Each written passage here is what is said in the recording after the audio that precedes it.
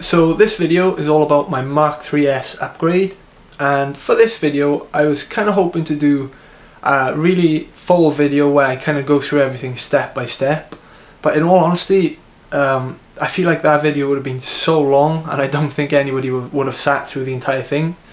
So what I'm going to do is just show you some of the stuff I did in preparation and then I've time-lapsed the whole build process so you can watch me really quickly build it.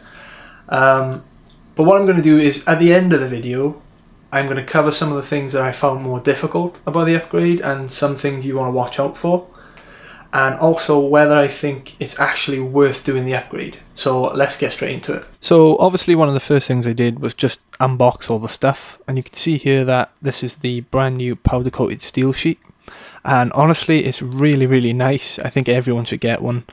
Um, I then installed it straight into the printer and remember that when you do this you need to recalibrate your first layer height because it's slightly different to the standard steel sheet.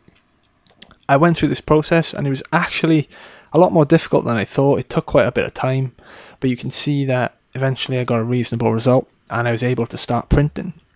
So then I was able to move on and print the new extruder parts. I didn't get footage of all of them, just a couple shots, but I think it took me about a day to print all the parts in total. As always, Prusa's online manual is very, very good. Um, all the steps are really straightforward, they're broken down clearly, and there's little comment sections underneath each step where people have given their feedback, and I highly recommend reading those because they're very useful.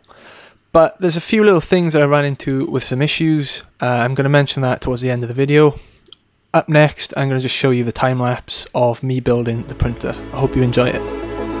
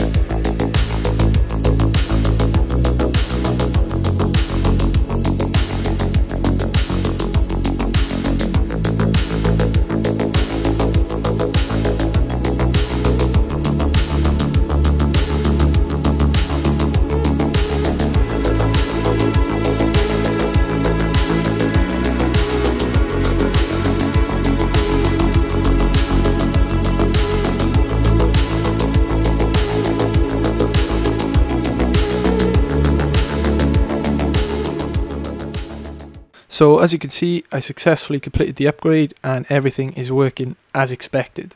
One other thing I did was design a brand new part in Fusion 360 that supports my uh, Prusa Mark III time-lapse mod. If you haven't seen that, I'll leave a card above, go check it out. But now you can print the part for the Mark 3S so that you can use that in the future. So now I'm going to talk about a couple of the things that I ran into that were issues there were only two of them, but it's something worth noting if you're going to upgrade. One of them was when I had to remove the hot end from the old plastic uh, extruder body.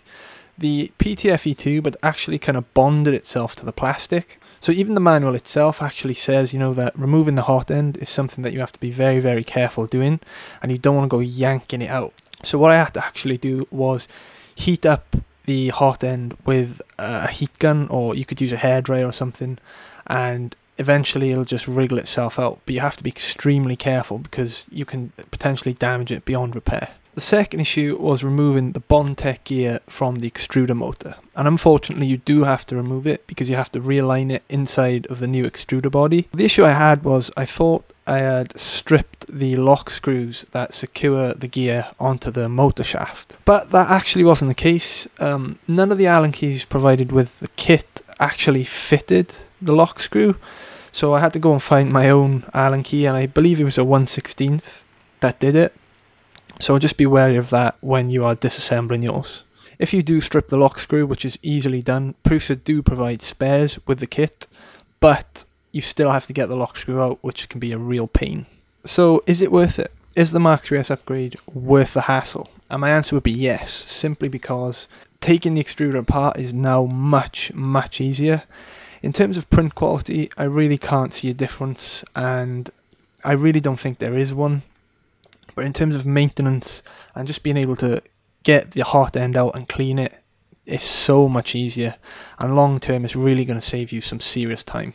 I'm going to be creating a completely separate video about the powder coated steel sheet, so keep your eyes out for that. But hopefully this video has been kind of useful. Let me know what you think in the comments below.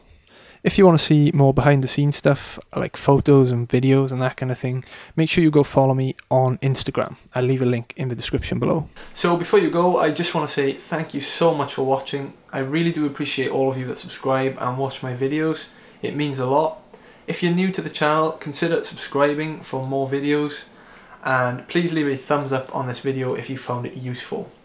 If you want to support me in other ways, there's a link in the description below where you can do that, but it's up to you.